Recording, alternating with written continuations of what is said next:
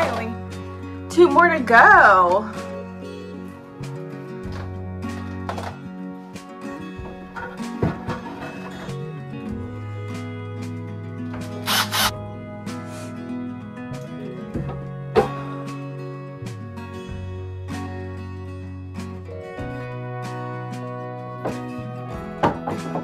Oh.